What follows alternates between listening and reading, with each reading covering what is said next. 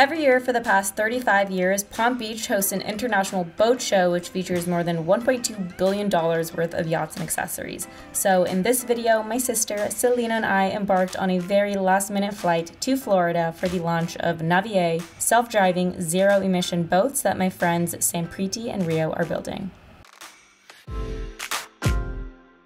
So, we are currently heading over to the airport and we're gonna head over to Miami today. We're gonna get in probably around 10 10 p.m. ish, and then the boat show is tomorrow.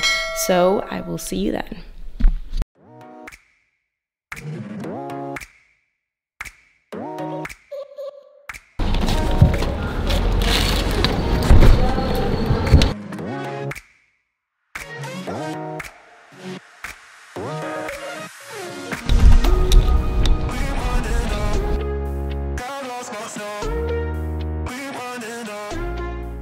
Got our bags checked in. What time is it, Nins? How we doing on time?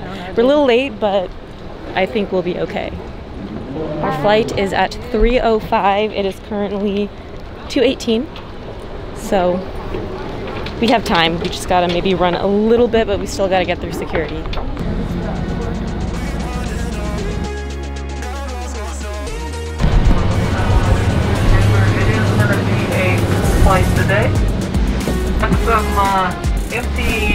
Aisle seats and maybe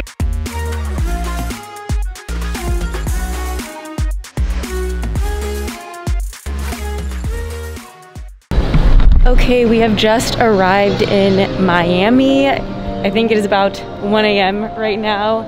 We are about to go get our bags from the baggage claim and head over to our Airbnb.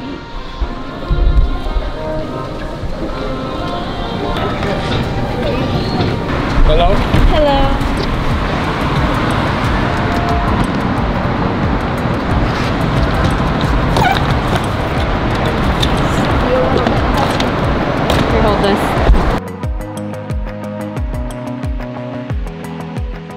Okay, so we have just arrived to our Airbnb. It's like 2.15 a.m. right now, so I'm gonna get some sleep and I will see you in the morning.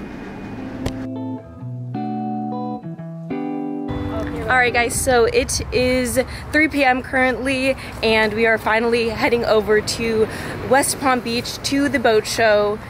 We had a very late night, of course. We got in pretty late and probably went to bed around 3 a.m. Uh, so we slept in a bit. And now we're heading on over. Our Uber is here and let's go. Yeah.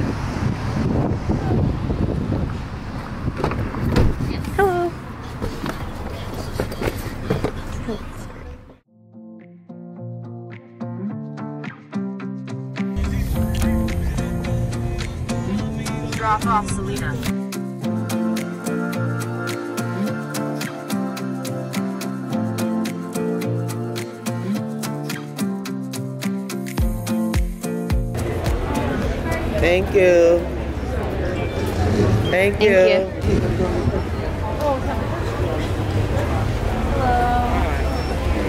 You were thinking? Yes. Okay, so we have just arrived at the boat show and a lot of booths. yeah. To check out. So let's go let's go check them all out. Feel fancy or whatnot.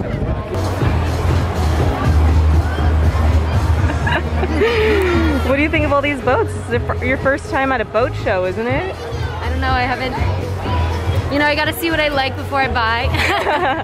we won't be buying any boats today. Oh, well, no, definitely not. but this is our first time at a boat show, so there's a lot of boats, a lot of yachts here. Definitely not used to seeing this okay, many so do you know where boats, the where's the Navier though? We are on the hunt currently for the Navier booth, so we can meet up with Reo and Sampriti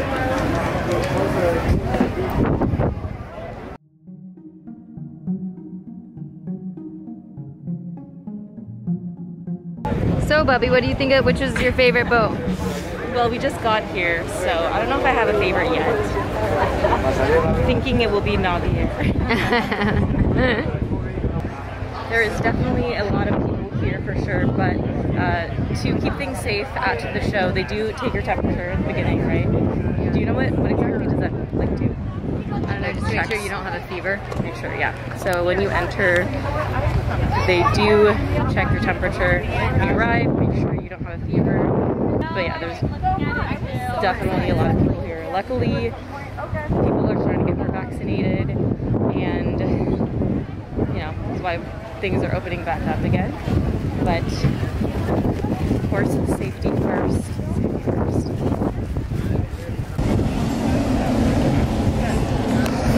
So this guy is currently flying, Flying? on top of the water. Water flying? He's water flying. I actually don't know the correct term for what he's doing, but it looks pretty cool, pretty fun. Whoa, he just did a flip. He missed it. He just did a flip. Do it again, sir. That was pretty cool. So now we are off. Gonna find Navier still. Still haven't found the Still, where yet. I, I texted them, but they have not responded yet. So. Yes.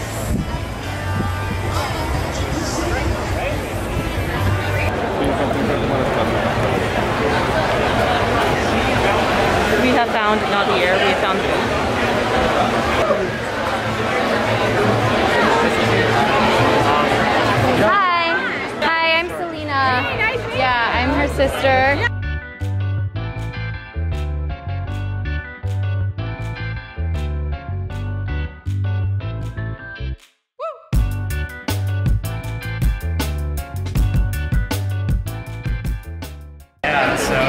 Give me it's, the uh, pitch. Navier. It's a hydrofoil all-electric boat. Yeah. big innovation here is it's uh, runs on hydrofoil, so it actually Uh-huh. flies over the surface of the water, Yeah. uh, which makes it 90% more efficient than a traditional boat, uh, which gives it some pretty compelling range out of the electric. Uh, but it also makes it extremely comfortable Yeah. because it's uh, flying above the surface, so you don't pound up and down in choppy conditions the same way you would. Yeah. I don't even know how that works. Um, but that's really cool. Kind of. Right? So you have Yeah. all these wings under the water. Oh, And okay. basically, once you hit a certain speed, those actually uh, lift you up. Yeah. is uh, Yeah. You know, the main specs are it's uh, about 75 nautical miles Mm-hmm. out of a charge of 20 knots, and uh, it also has some fun uh, fun features. It's really easy to dock. It's a sit-down. Mm-hmm. Advanced autopilot. Cool. The sustainability is such a big part of this, right? I mean, exactly. the whole point is like, I personally want people to go out and technology should be at conflict with each other, Oh, yeah. right? How can you develop things that are technology like you know, sustainable and go out, you know, something seamlessly integrated with the nature, right? And in harmony. So it's a big part of it, and every material choice we made, uh, you know, where we build our ship, all of this is going to be driven by, you know, the long-term impacts on the Yeah.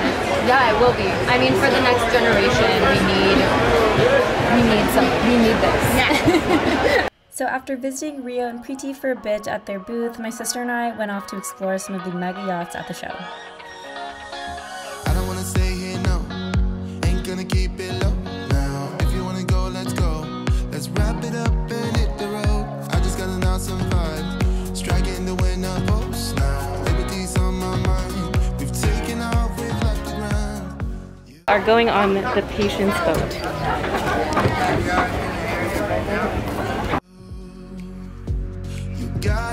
Understand that we get one chance, one chance. You, you will never regret the things that we'll do. Cause I,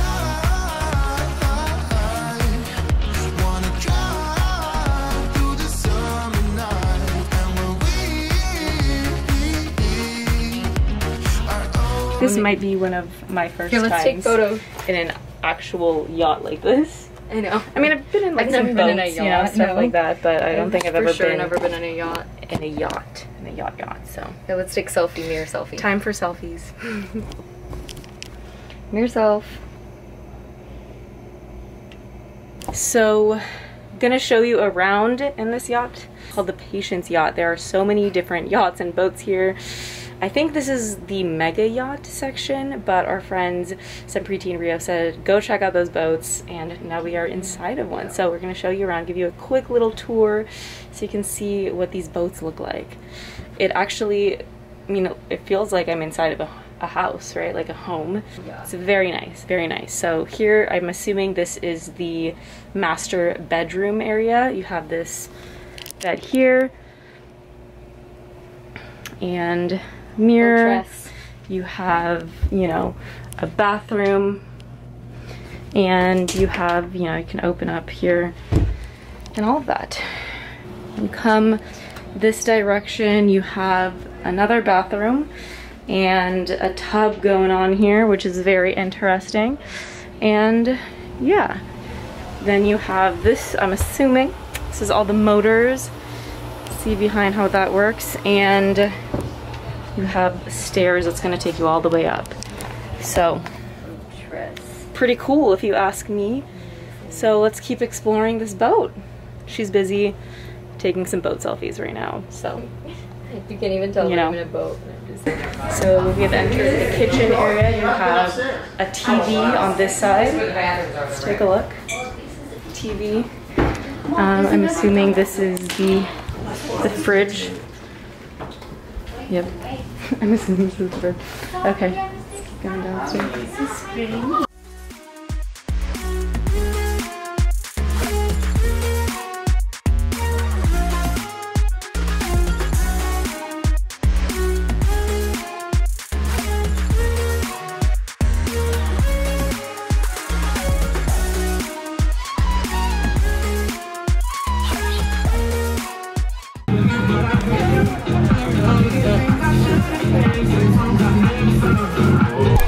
right, guys, so we are at day two of the boat show here in Florida, and we are finally going to interview Reo and Priti to hear the story and vision behind Navier, the boat that they are creating. So they are in a booth right next to us. We're gonna go head over and find them.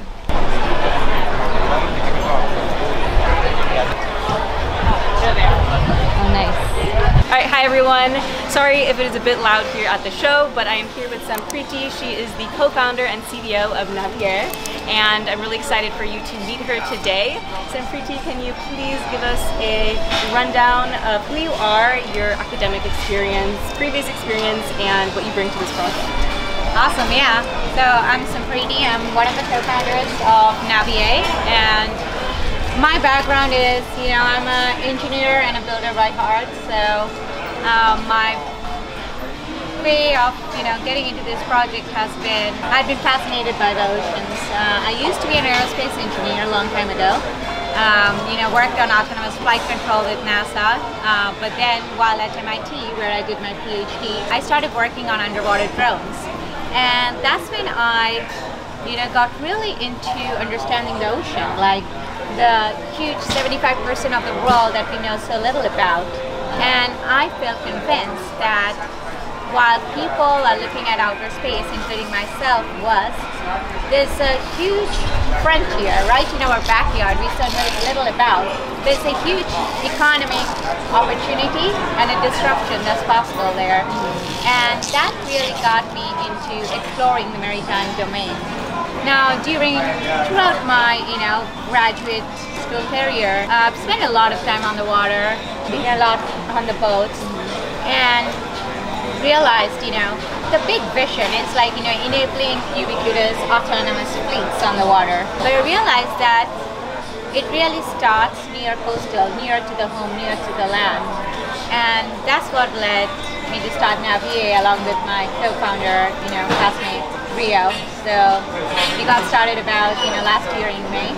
And, uh, it's been pretty awesome. So almost a full year Almost. getting started on the project. That's amazing. So in layman's terms, how exactly does Navier work? So the what Navier, we are essentially building the platform, right? The hull and the foil. That's really the invention is there, and then on the other side is the control and the autonomy technology and software. So it works a little bit if you can think about planes. So what happens is that as the boat reaches a certain speed, mm-hmm. just like you know, in this case 18 knots, it takes over like it flies. It lifts off. And when it lifts off, what happens is that if you're in the air, it decreases the net wetted area that reduces the drag. And that's why it is so efficient because instead of pulling, you know, pushing water, you're essentially going through air, so the resistance, the drag is much less. That's what gives it so much increase in efficiency. And now since you are over the water, right, in our case you can deal with about four feet of swell. That means you don't have the bumpy rise which you might have experienced in choppy water in the bay or elsewhere. So the feeling is almost like, you know, being in a jet plane. Yeah. Oh. Hmm. All right, hey everyone. So I am now back in LA and it's been about two weeks since the boat show and I just wanted to close out this video by sharing some final thoughts on Navier. So I am definitely very excited about this boat because I think it is a huge opportunity to really transform city infrastructure and public transportation and move towards sustainable development, especially if governments begin implementing this into our transportation systems. So my sister is actually going to be studying sustainable development at Berkeley for her master's, and that's why she was very excited to come on this trip with me, but she is back home in Sacramento right now, so I asked if she would be able to share some of her final thoughts. So I'm going to go ahead and give her a call right now.